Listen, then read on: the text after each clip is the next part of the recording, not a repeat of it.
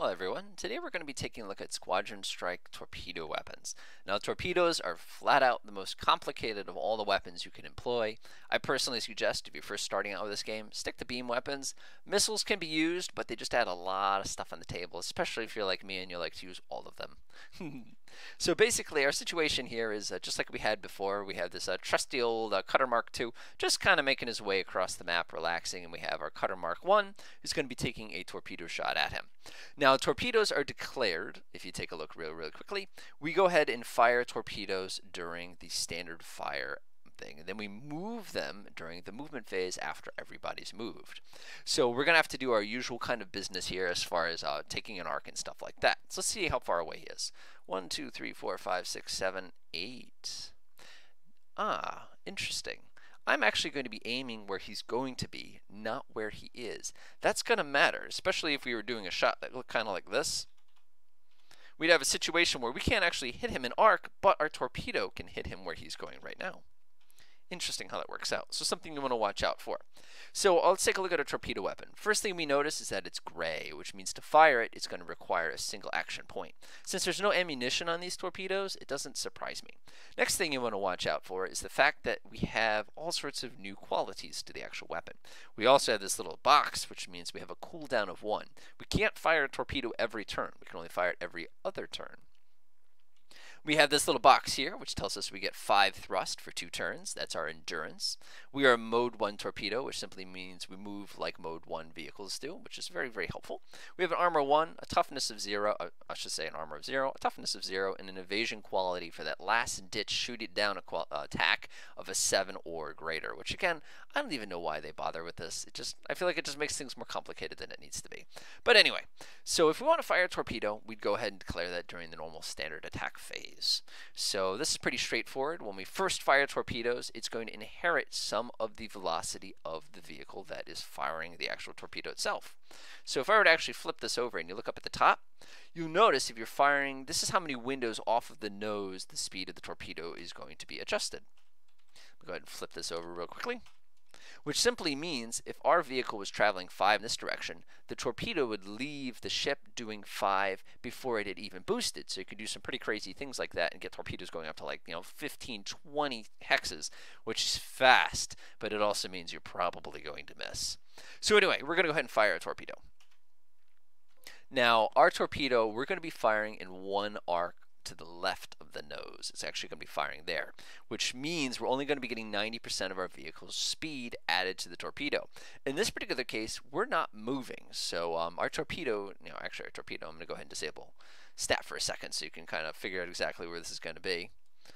It's actually going to be roughly right there if you want to think about it. Now, torpedoes, when they fire, you can choose to pivot them before kind of taking the shot, so to speak. When you're using mode 1 torpedoes, basically you're trying to almost follow the target. If you're using a mode 2 torpedo, oh boy, you're going to have to calculate where the target is going to be and aim at that spot carefully. It's almost not worth the homework. So I'm going to go ahead and uh, plop him here. That's where he's going to be. Remember, he's inherited a little bit of our velocity. So we're going to go ahead and flip to the next turn. Uh, we've done all our movements. He's going to go ahead and move to this marker. I'm not moving. So after everybody's moved, then we get to move the torpedoes closer to the target. So now the torpedo has a thrust of 5, which means it can increase its speed up to 5. So in this particular case, I'm going to go ahead and do that. After they've launched, you can choose to pivot your torpedo up to two windows. What does two windows mean? So right now, if we're facing this way, we could face this way or we could face this way. You can do that before or after the torpedo itself thrusts. Now, this is where you're going to have to be a little bit creative. How are we going to get that torpedo to hit where he's going to be next turn? Well, first of all, we're going to use all five of that thrust. So one, two, three, four, five. The torpedo is now going speed 5 which means we've used half our endurance, by the way. So if we keep at speed 5, that's actually pretty easy for us because that simply means that next turn he's still doing 5. If we use the rest of our thrust, the other 5, we've run out of endurance at the end of that turn.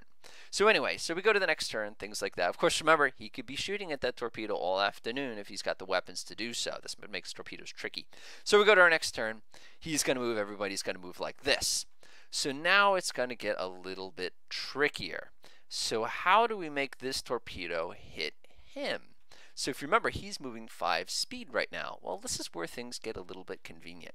If we were to scoot down here, you'll remember that we had this handy dandy horizontal plotting grid. We can use that up to speed 5. But in this case, we don't need all speed 5 in order to hit him. We only need to come forward 1, 2, and over 1. So that's going to be a total of 3. That's going to be that mark right there. We can do that without even pivoting the torpedo which means this turn the torpedo is actually going to strike. Now if we were using the mode 2 torpedoes, oh boy, you'd have to basically lead the target. And if you're going to do mode 2 torpedoes, you might as well go play attack vector tactical.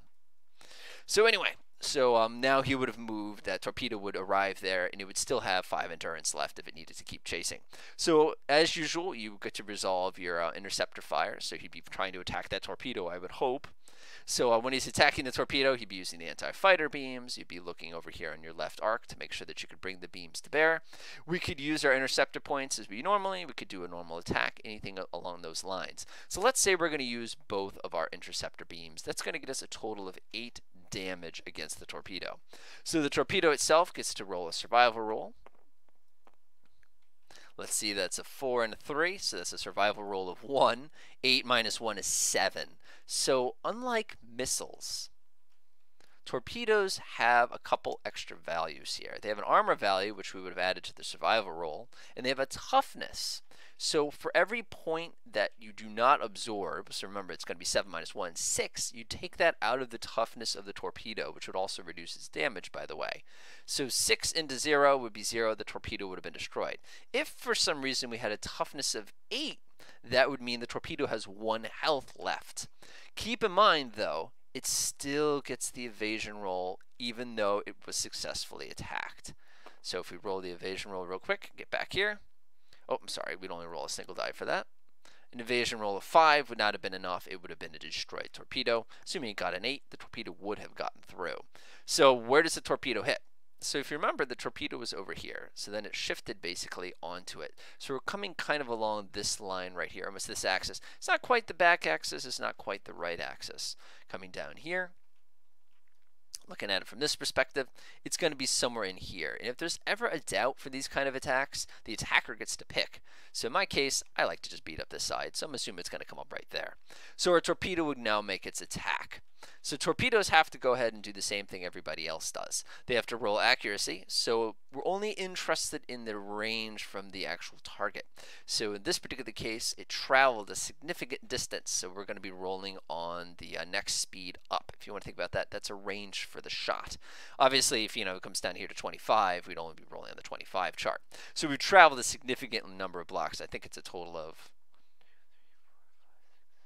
We've gotten eight total, so that's going to round up to this one here. So it's going to be four or higher. Remember, there's a profile modification, which makes it a five or higher to actually hit. So let's go ahead and scoop up our dice. Let's see here. Um, that's going to be a hit. Location is going to be location 9, and it's going to do 3 penetration, 3 penetration, location 9. So 4 damage plus 3 is going to be 7. Oh, hold on a second. Um, no, I was right the first time. So it's going to be total of 7 damage. It's going to be on the right-hand side. So coming over here, again, we're going to be basically coming in through here.